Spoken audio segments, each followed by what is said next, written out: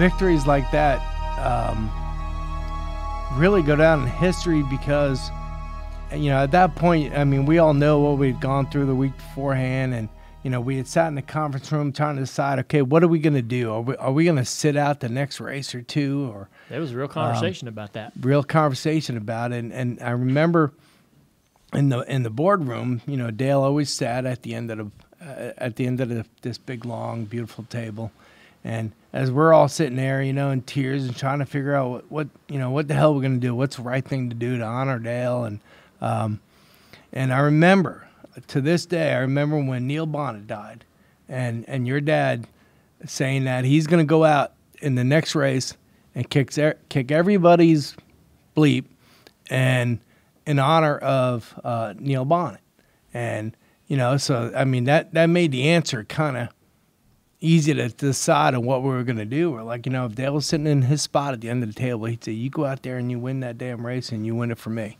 mm. just like he did for Neil. So, uh, and so anyway, we st- we started that weekend, and uh, you know, we had to walk into the track with our heads kind of held high, and you know, we we had a job to do and stuff that we had to do, and then. Um, I remember early on in the race, uh, Junior crashed in turn four. Like first you know? or second lap, right? Um, yeah. yeah. it was it was, it was pretty early, early yeah. and, he, and he and he went in pretty hard. He went in pretty straight, and you know it was a flashback from the week before, and I think all of us just wanted to know that he was okay. And uh, when we found out he was okay, I mean, we just uh, um, our, uh, another memory in my mind was that, you know Jeff Gordon was pretty dominant that day, and we had chased him down. And the guy who taught me how to race Rockingham was was Dale Senior, and he my first year running Rockingham, I'd go out behind him, and he'd say, "You follow me. I'm going to show you how to get around here." And I'd follow him and we'd get up to speed. We'd go down the backstretch. We'd get three quarters of the way down the backstretch. I'm a car link behind him. All of a sudden, he gets up off the gas, and I almost ran smack into the back of him. and next thing you know, boom, there he goes, and now he's two car lengths ahead of me. So I'm catching him. I run right up on him again into in, into turn one, and almost run into the back of him because he lifted so early, and all of a sudden, boom, he's three cars ahead of me. And that's when I learned. I said, man, you know, you got to lift early. You got to let the car roll through the corner. You know, don't wear the tires out because everybody else be wearing their stuff out. And and we and, and after that experience, I learned how to drive the track different. He said, "You'll see the back bumper of somebody go away, go go off into the sunset." He said, "Give it 20 laps. You'll be seeing them coming back the other way again." and sure enough, that's what they did. And um, the memory I was going to say was coming off of turn two, I'd passed Jeff Gordon for the lead.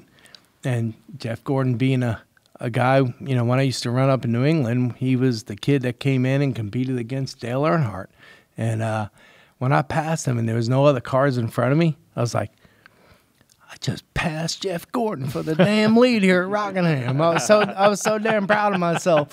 And then uh, uh, and then all of a sudden it's like, uh oh, here comes Bobby Labonte, you know. And we were on old tires, and we barely had enough gas to make it, and you know everything just worked out to go on and win a race. And uh, you know that that last lap, I had to do everything I could to, to fight off uh, Bobby Labonte. I don't know if I said Terry, but Bobby Labonte, um, in true Dale Earnhardt fashion. I mean, you know, he you know, he had taught me how to run the fast lane and and and run up by the wall. And, and, as I saw Bobby starting to catch me a little bit, my spotter was giving me intervals, and I was trying to calculate in my mind, you know, how many laps are going to be left, and by the time he gets there, and uh, you know, we are just fortunate enough to have enough fuel to win the race.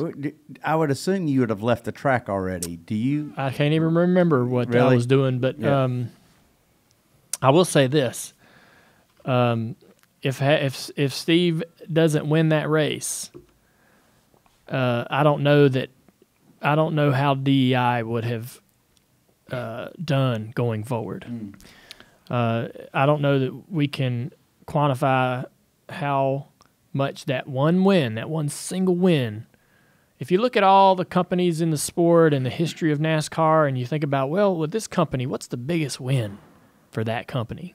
What's the one win that, that mattered the most? I think you would have to put that one near, if not at the top of the list for DEI, because had that not happened, I don't think that we would have had any of the success that we had going forward. Because we were, as Steve said, I mean, we were really unsure on how to proceed. Yeah. And if we go to that race, I crash on the first lap. I don't know where Michael ran. Uh, and if Steve doesn't win, what's the morale? What's that? That that all carries over. And so for him to go out there and win that race gave everybody a bit of some relief. And and the the thing about it when you lose somebody like that, the world keeps going. Rockingham was coming Sunday, whether we were going to be there or not. And so we had to make that decision to go. He goes up there and wins, wins the race. And it just kind of kept pushing that boat along, you know, kept pushing the barge down the stream. And and we we really really needed that. And so that's what I remember from that day. I remember us wearing the three hats sitting on I remember you know, I had a bad day, but I the one thing that I enjoyed the most is that me and you and Michael sat on the wall right before the start of the race on pit road. And the we're not br- blood brothers, mm-hmm. but in that moment, I felt I felt like we were off as family as family could be, yeah.